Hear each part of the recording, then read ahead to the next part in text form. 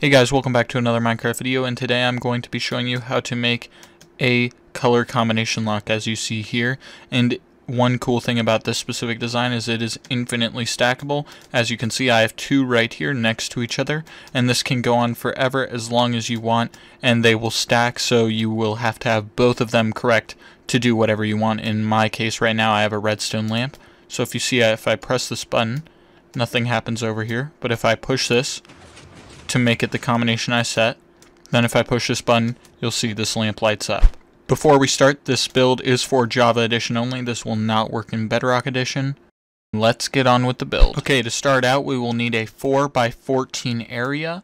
As you can see, I have laid out right here, and you might be wondering what this purple strip is for. Well, this is actually an overlap between two of the layers. Like you saw back there, I had two different color combination locks, and in this layer, both the left and the right will be using redstone on this space. So if you're making two color combination locks like I had, it'll only be seven blocks, not eight. To start out, we'll lay out our pistons, and if you look one, two, three, the fourth block in right here, we will want our pistons on the middle two out of these four, and then if we look one, two, three, then the fourth block right here will be our pistons facing upward, and then if we go one, two, three, four, this is the layer we want them on. So right here.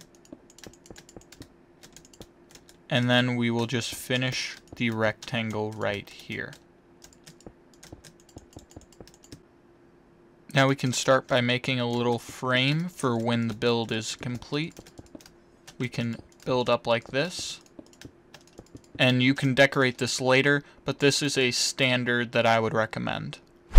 We can then put our button right here with a sticky piston facing down on the back side, an observer also facing down, into a block, redstone dust here, an observer facing up, and then over here, one redstone dust into two redstone repeaters, redstone dust here as well, and then two repeaters there.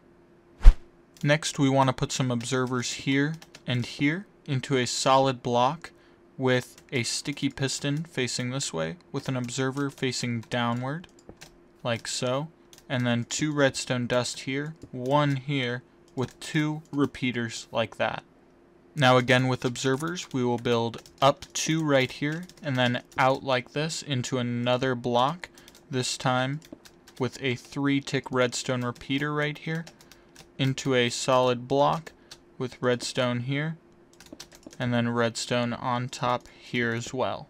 Now for these two last pistons, we want to place a block here with a redstone lamp, an observer going this way, up, and then into a solid block, and then a four tick redstone repeater right here, and then redstone dust here. Now with your solid and non-solid blocks, what you want to do is place your non-solid, like glass or glowstone, like this, all around, but not in any corner besides this corner right here. You want to leave this corner filled, but these three empty. And then this block, the second up on the right side, you want to place a solid block right there. Now on the other piston feed tape, we want to fill it in the exact same way with all the corners empty besides that one, except we want to use all solid blocks. So if I just go in here, there we go. So you want to leave this one empty as well because this is the top right corner. Now to add the circuit to check if they got it correct.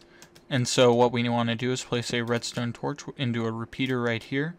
A normal piston facing this way with an observer like this into a block down and then repeater and then a piston with a block out like this.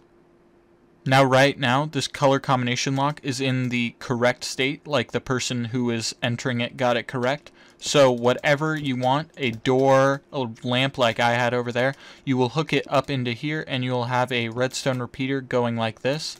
And when you supply an input like the button I had, it will go through and it will only give an output over here if they have it correct.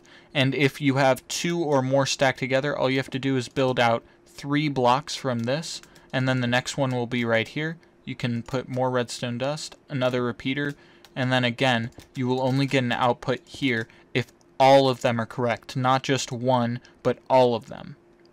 Now that we're done, we can touch up a little bit more. I'd like to add two blocks here, and then I can go and find whatever blocks I want to actually be showing, like I had the colors. I'm going to be using concrete, but you can use any blocks that are movable by pistons, but you probably don't want to use glass because then they can see through to the combination.